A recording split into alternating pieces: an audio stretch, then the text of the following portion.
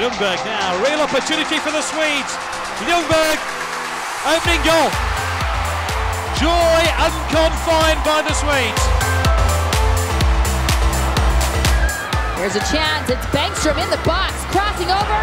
Oh, and it's in! What a misplay by Kitching. And you've got to wonder what on earth Kitching was thinking. It wasn't that difficult a ball. It does take a bounce in front of her and a deflection, so she comes to it a little bit late. But if you come out like that as a goalkeeper, boy, you've got to come up with the goods or you are leaving your goal totally exposed.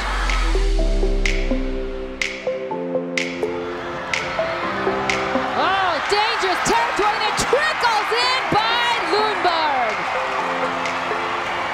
There's the long clearance. Should be no trouble. It's won by Australia, then lost. And look at this. Here's the little pass back. But Cooper is trying to protect the ball. And the goalkeeper's arriving just too late. It's too near the edge of the area. She can't use her hands. But it's too late. Her run is too late. Free kick taken by Anderson. Ball back in play. Ljungberg, it's there. Sweden have scored. It's Ljungberg who heads them into the lead.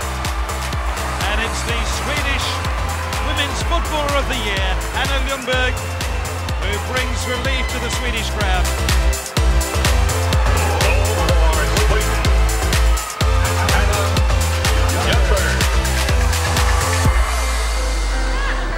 Certainly not on their side, and Svensson busily gets the ball off here to Moström.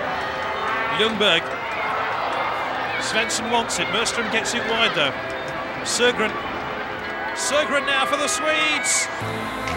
Ljungberg into that.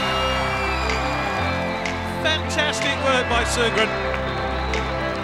And Lundberg, who else, strikes. And there's the real assist by Sjögran. She set up the goal. No wonder Lundberg and Sjögran congratulate each other.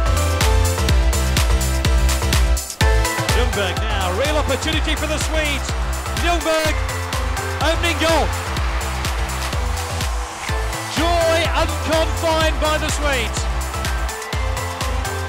Terrific flick here. And a very sharp piece of finishing here by Hanna Ljungberg.